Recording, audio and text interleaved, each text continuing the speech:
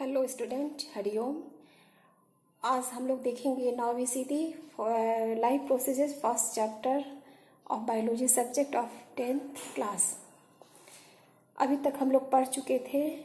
हम लोग इसके पहले पहले के वीडियो में हमने पढ़ा था कि mode of nutrition and mode of nutrition में हम लोग ऑटोट्रॉफ पढ़ रहे थे और ऑटोट्रॉफ हरे पेड़ पौधे जो होते हैं, वे स्वपोषी होते हैं ऑटोट्रॉफ होते हैं, क्योंकि वे प्रकाश संश्लेषण क्रिया के द्वारा अपना भोजन का निर्माण खुद करते हैं और ये प्रकाश संश्लेषण क्रिया पेड़ पौधों के हरे भाग में होते हैं।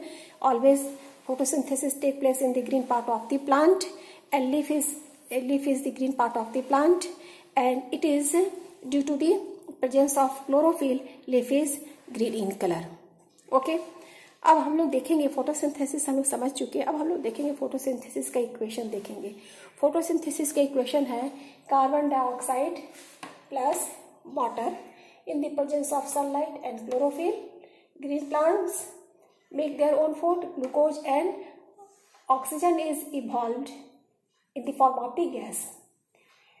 Second, equation is also correct. In first equation, water is limited and in second equation, water is unlimited.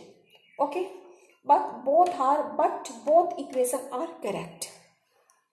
प्रकाश संश्लेषण क्रिया में की क्रिया में आपको the main requirement of the photosynthesis is water carbon dioxide sunlight and chlorophyll these four are necessary for the photosynthesis process if any one uh, requirement is not available in this condition. Photosynthesis is not completed. अब हम लोग हम लोगों ने equation भी photosynthesis का equation भी देख देख चुके हैं।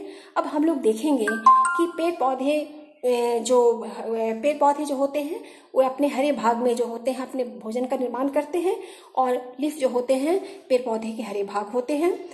Therefore leaf is called kitchen of the plant.